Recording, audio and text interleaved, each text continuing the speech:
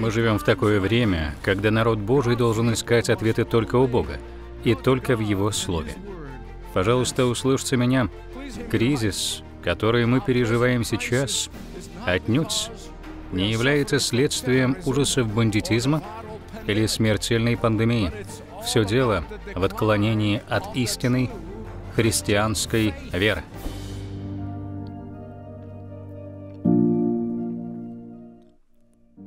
Мы вступаем во времена дискриминации, гонений и отчуждения.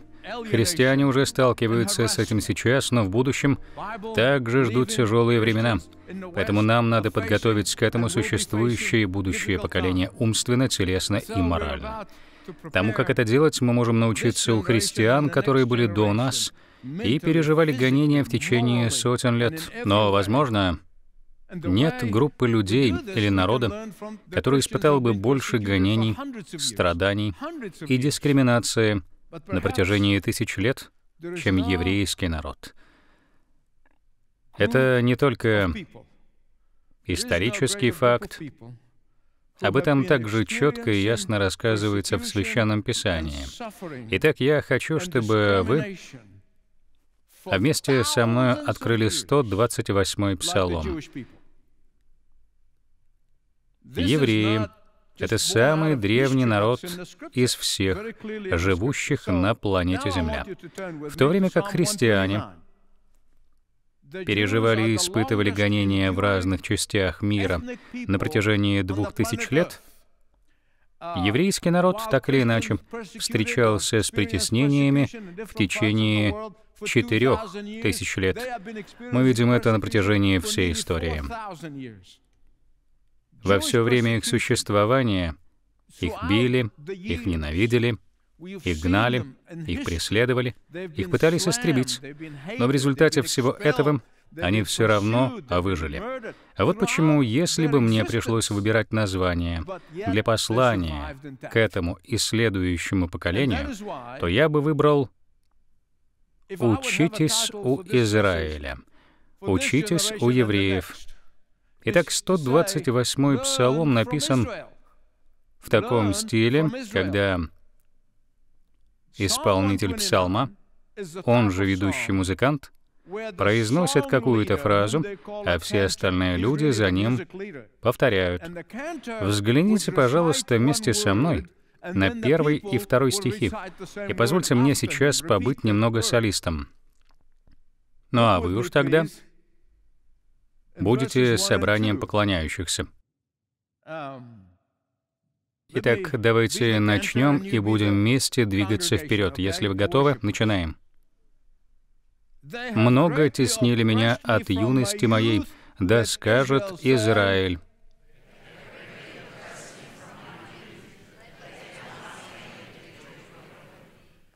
Под юностью Израиля понимается период, когда во время египетского рабства они объединились вместе как один народ. 400 лет они были в рабстве, испытывая боль и страдания, перед тем, как Бог освободил их. Это считается временем юности Израиля. Об этом же можно прочитать в книге пророка Осии. Это 11 глава, 1 стих. Посмотрите, а вот что он говорит здесь об этом. «Когда Израиль был юн, я любил его, и из Египта вызвал сына моего». Точно так же и Матфей, автор одного из Евангелий, с этими самыми строками связывает исполнение пророчества об Иисусе, который до определенного времени был сокрыт в Египте, пока Бог не призвал его оттуда. Также еще Матфей сравнивает Израиля с сыном, который не был послушен Богу, а Иисуса — сыном, который был послушен. Итак, после многих лет рабства под властью фараона количество народа все равно увеличивалось. Поэтому, отчаявшись уменьшить их численность через притеснение, фараон решил убивать всех мальчиков-первенцев, но Бог защитил Моисея и воспитал его для того, чтобы освободить их от рабства. Но давление на них оказывалось не только в то время. Обратите внимание, как там написано. Их притесняли не только в юности, но от юности началось это притеснение. То есть, начиная с этого времени, их начали притеснять. От юности так сказано в Псалме. И многие из вас знают события, описанные в Библии. Я не буду повторяться на этот счет.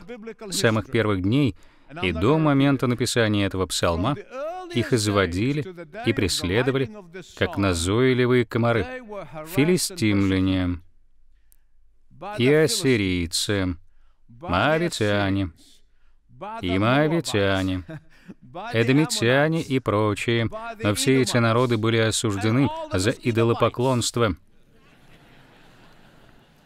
и за блуд. И в итоге все они понесли заслуженное наказание. Вторую половину этого псалма теологи называют проклинающей. Это слово является производным от слова «молитва» и образуется путем добавления к оригинальному слову приставки «им».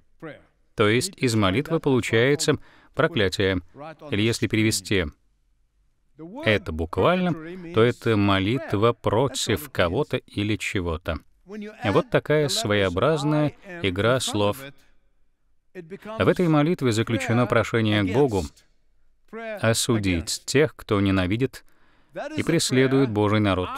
Возлюбленные, послушайте, это очень важно.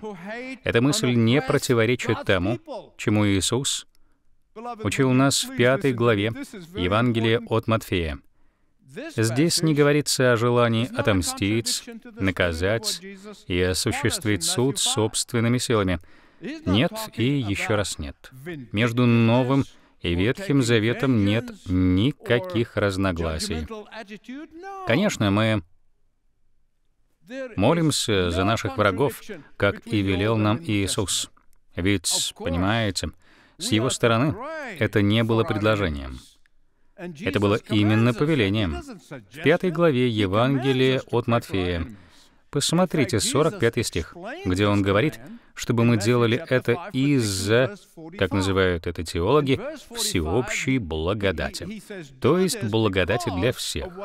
А что же это такое? Солнце встает и над злыми, и над добрыми, дождь идет для праведных и неправедных.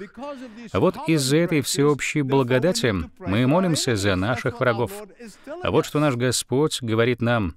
Но это не означает, что Бог в итоге не воздаст злым за их дела. Он обязательно сделает это. И каждый раз, когда мы произносим в молитве «Да придет царствие Твое, да будет воля Твоя», тем самым мы говорим Бог, осуди зло и нечестивых за это зло. Каждый раз говоря, да придет царствие Твое, мы молим, чтобы Бог принес суд всем злым сердцам. Иисус никогда не говорил, что мы не должны желать торжества справедливости или осуждения для Божьих врагов. Нет. Так как же нам тогда молиться за наших врагов? Ну, во-первых, мы должны молиться за их обращение, чтобы они покаялись, чтобы они отвернулись от своих злых дел и приняли Христа как Спасителя. Мы молимся, чтобы они прекратили делать зло, чтобы они раскаялись и сошли со своих злых путей, чтобы перестали враждовать с Богом и Его народом. Наши молитвы не для того, чтобы они процветали, творя свои злодеяния и были успешны, делая зло. Не этому Господь учит нас. Мы не благословляем их, желая им, чтобы они с еще большей головой утопали в своей грязи. Ни в коем случае. Мы молимся, подобно апостолам в книге Деяний, это 4 глава, 29 стих. «И ныне, Господи, воззри на угрозы их, и дай рабам Твоим со всей смелостью говорить Слово Твое». Главная причина молиться за врагов, озвученная Иисусом, так это чтобы они покаялись. Вторая причина — это напоминание нам, чтобы мы не брали суд в свои руки.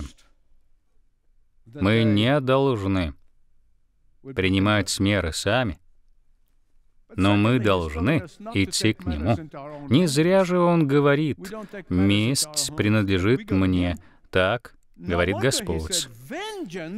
И позвольте мне сказать вам, я достаточно пожил, чтобы убедиться в этом. Его возмездие гораздо более сильнее, страшнее и серьезнее, чем вы можете себе представить. Многие годы нам пытались внушить, что Иисус был робким, слабым, беспомощным, и что мы должны быть такими же. Но они просто не в курсе, что Иисус прямо сейчас облачен славой на небесах. Книга Откровения описывает нам Иисуса с мечом, исходящим из его уст, с большими письменами на бедре и верхом на могучем коне.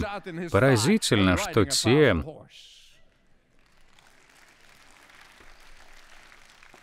Кто не хотят принимать проклинающую часть этого псалма, не видят, сколько же в ней милости, а в ней очень много милости.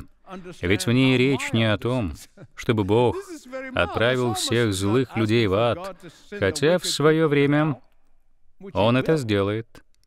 Но они не просят Его об этом. Они не просят Его, чтобы Он хотя бы обрушил на них те же страдания, которые они причиняли Его народу. Псалмопевец просто просит, чтобы их злые замыслы не сбылись. Есть три момента, на которые я хочу обратить ваше внимание в их проклинающей молитве.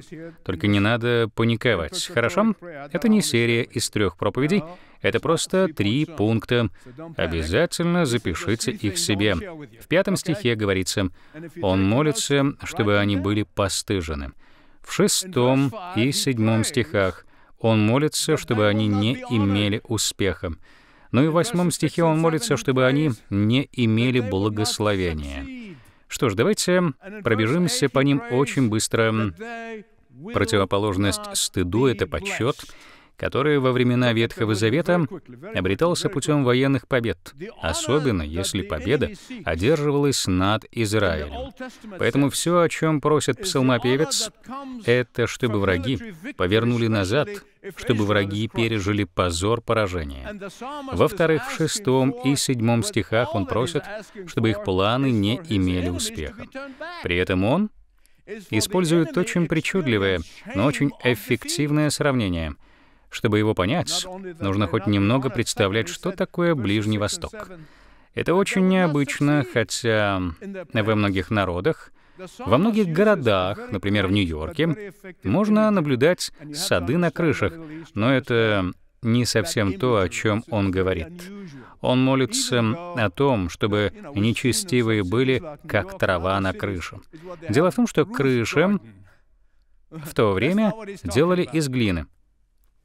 Если семена попадали на такую крышу, то некоторые из них, если и вырастали, то очень быстро засыхали и умирали из-за отсутствия воды и почвы. Они просто не могли стать большими растениями. Любая травинка там, очень быстро засыхала. Об этом и просит псалмопевец, чтобы у нечестивых не было даже малейшего шанса на успех. Он желает, чтобы их планы полностью засохли на самом корню и умерли, чтобы, придя, жнецы не смогли найти там даже горсти урожая, даже малости какого-либо зерна. Итак, во-первых, мы просим, чтобы они были постыжены. Помните об этом. Далее, во-вторых, чтобы они не имели, давайте все вместе, не имели чего? И в-третьих, в восьмом стихе, мы молимся, чтобы они не имели благословения и не преуспевали в своих злых замыслах. Седьмой и восьмой стихи связаны между собой, потому что во времена Ветхого Завета это было обычным делом молиться за урожай и жнецов, которым приходилось очень тяжело работать во время жатвы. Их благословляли. Это было нормой. Можно увидеть пример этому в книге «Руфь» во второй главе. Помните момент, когда Ваос молился за них, когда они проходили мимо него? Но нам было бы неправильно таким же образом благословлять тех, кто делает зло. Это было бы оскорблением по отношению к всемогущему Богу. Это как если бы кто-то из народа стал сотрудничать с врагами. Мы называем таких предателями. И в книге Откровения, в 12 главе, в четвертом стихе мы видим картину, как дракон стоит перед женщиной и ждет, когда же она родит, чтобы пожирать с младенцем, как только он родится. Мы знаем, что женщина — это Израиль, а ее младенец — это ее сын, Мессия, Иисус Христос, который родился для исполнения пророчества. Дорогие мои друзья, Бог спас это дитя, восхитив и посадив его на трон. Там и находится сейчас Иисус. Он восседает на троне в этот момент. Это является исполнением строк из третьей главы книги Бытия. 15 стих, где сатана снова и снова постоянно пытается укусить Иисуса за пятку, но слава Богу, Христос сокрушил его, поразив голову. С самого момента рождения Иисуса в иудейском Вифлееме сатана пытался убить его, начиная с подстрекательства царя Ирода на убийство всех младенцев в этом городе и заканчивая незаконным инсценированным судом, где был вынесен смертный приговор невинному и безгрешному Сыну Божьему. Сатана все время пытался уничтожить его, но слава Богу, что на третий день Иисус воскрес из могилы вместе с каждой частичкой Его всемогущества. Он воскрес.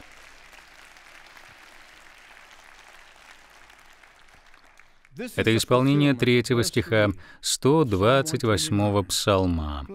«На хребте моем орали аратаи, проводили длинные борозды свои.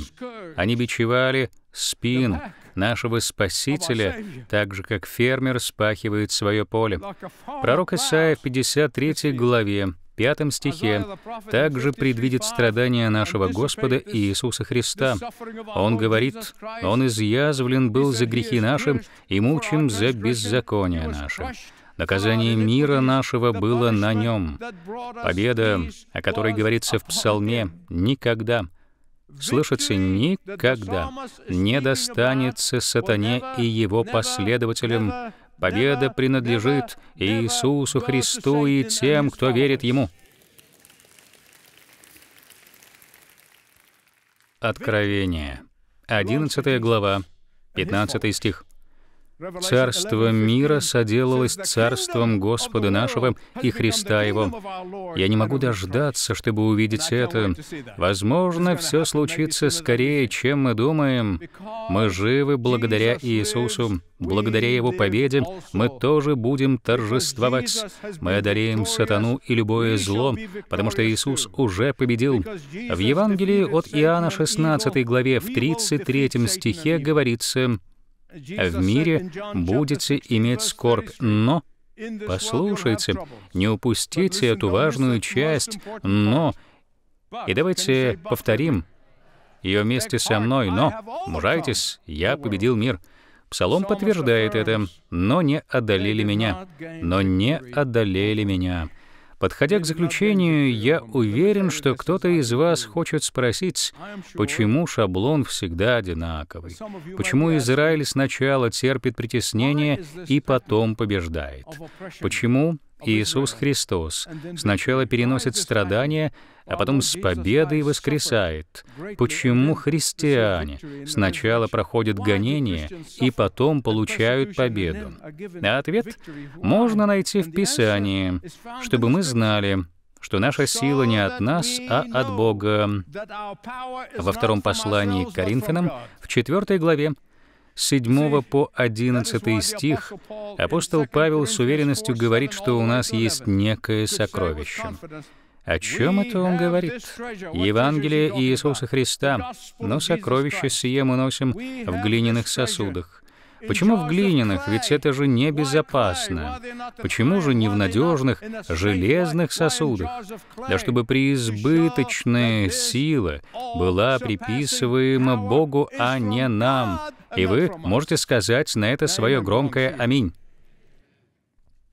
Павел говорит, мы отовсюду притесняемы, но не стеснены. Мы в отчаянных обстоятельствах, но не отчаиваемся. Мы гонимы, но не оставлены. Не излагаемы, но не погибаем. Всегда носим в теле мертвость Господа Иисуса, чтобы и жизнь Иисусова открылась в теле нашем. Ибо мы, живые, непрестанно предаемся на смерть ради Иисуса, чтобы и жизнь Иисусова открылась в смертной плоти нашей. Есть очень сильный христианский символ — который написан на латыни и расположен на Синае, там, где предположительно произошла история с несгораемым терновым кустом. На нем написано «но он не сгорает». «Но не сгорает». Я прошу вас, давайте скажем эту фразу вместе. Божий народ может быть в угнетении, но его никому не уничтожить, и он может, присоединившись к апостолам, сказать «Благодарение Богу, который всегда дает нам торжествовать во Христе». И весь народ Божий сказал «Слава Богу».